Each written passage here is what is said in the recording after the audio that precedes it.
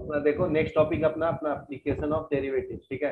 तो next topic है rate of change of quantities ठीक है? एक quantities with respect to another quantity change कैसे होता है, उसके बारे में पढ़ना है। तो ले लो एक फ़ंक्शन ले लेता हूँ, y equal to F X function ठीक है? इसमें अगर small change delta X in X है तो वाई चेंज पर यूनिट एक्स क्या होगा? Delta Y by delta X ठीक है? Limit delta X tends to zero delta y by delta x can be written as dy by dx now so this whole term is written as dy by dx so change of y with respect to x how one quantity changing with respect to another that is called rate of change ठीक है that is called rate of change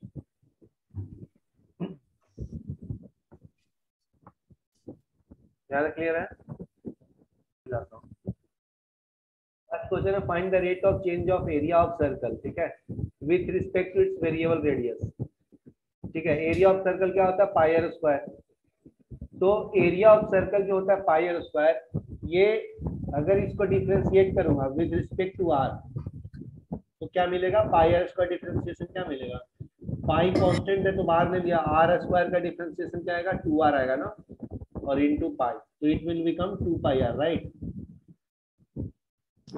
तो मैं area आपका circle का क्या है? पाई are square है ना? तो आर वेरिएबल है। तो आर वेरी होगा तो सर्कल का रेट सर्कल का एरिया भी वेरी होगा ना? Because we know area is directly proportional to radius square ना so when r increases, area also increases. When r decreases, radius, area also decreases. ठीक है? So differentiate area with respect to r. So it will become dA by dr is equal to pi into 2r right? So look here it is 2 pi r. When dA by dt dA, dA by dr. Now put the value of r as 3 it is given in the question so it will be 2 into pi into 3 so it will be 6 pi no? So area is changing with respect to r as 6 pi when r as 3 so it is 6 pi centimeter square per centimeter so now to कोई चीज़ का formula है ना हाँ circumference of the circle है ना ठीक है नेक्स्ट टॉपिक अपना अप्रोक्सीमेशन ठीक है तो इसमें फ़ंक्शन जो है उसको डिफ्रेंशिएट किया विथ रिस्पेक्ट टू एक्स तो ये आपको पता ही है D Y by D X ठीक है? तो यहाँ पे मैं बोल सकता हूँ ना कि डी वाई को हम लोग डी एक्स से डिवाइड कर सकते हैं, ठीक है? तो अभी नेक्स्ट पॉइंट देखो। ठीक है? फ़ंक्शन एक लिया हूँ Y equal to F X function of X and delta X with small change in X delta Y with corresponding Y तो limit delta X tends to zero delta Y by delta X ये आपका D by D x हो जाता है, ठीक है? तो D Y by D X को ही हम लोग एफ़ टेस्ट ऑफ़ एक्स बोलते हैं ना। ठीक है? तो D delta Y by delta X equal to क्या हो गया? D Y by D X plus plus epsilon ठीक है? When epsilon turns to zero delta X turns to zero ठीक है? तो देखो, हम लोग दोनों साइड मल्टीप्लाई कर दिया और डेल्टा एक्स को मैं राइट हैंड साइड में ले लूँ तो डेल्टा वाई इक्वल टू क्या मिलेगा? D Y by D X into delta X plus epsilon delta X ठीक है?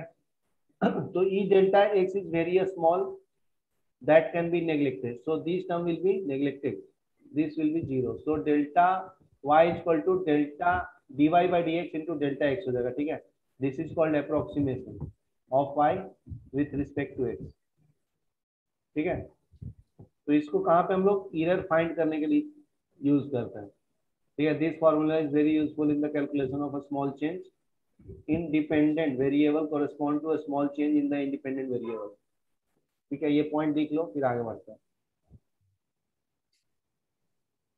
देखो, सब इम्पोर्टेंट फॉर्मूले में क्या है? डेल्टा एक्स बाई एक्स करेंगे तो ये आपका relative error with respect to X देता है, ठीक है?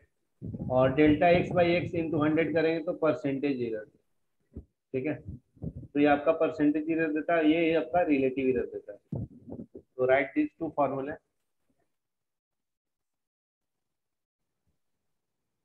next question at 29.7 uh, using differentiation differential find the approximate value of under root of 25.3 So let y equal to under root of x. So its derivative will be 1 upon 2 root of x, right? So x is 25. Look here. So x we have taken as 25. So x plus delta x is 25 plus 3, right? So change in x is 0.3 now. So 25.3 is equal to 25 plus 0.3 that is equal to 25.03. Okay, that is 25.3. So this is your x and this is your y. So y is equal to 25 रहता है तो बाहर 5 आता है ना तो this is the approximation formula delta y equal to dy by dx into delta x. So dy by dx is this one na 1 upon 2 of root of x and delta x is 0.3. This is 2 root of 25. So 2 और बाहर आ जाएगा 5. तो ये क्या हो जाएगा 1 upon 2 into 5 into 0.3. So calculate this one. So this is 0.3 by 10. So it will be 0.03. So answer is 0.03. ठीक है ये आपका डेल्टा वाई मिल गया ना तो डेल्टा वाई कैसे निकालेंगे अभी? Y plus delta Y. तो ये क्या आएगा? X plus delta X. ठीक है? तो हम लोग को वैल्यू पता है अभी? कैलकुलेट कर लेंगे। तो y का वैल्यू पता है ना? देखो y का वैल्यू क्या है? फाइव। और डेल्टा y का वैल्यू कितना है?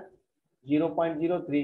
तो दोनों को ऐड कर लो y प्लस डेल्टा y कितना मिलेगा? Five plus zero point zero three. This is five point zero three this is the answer ना ठीक है राइट हाँ बोलो।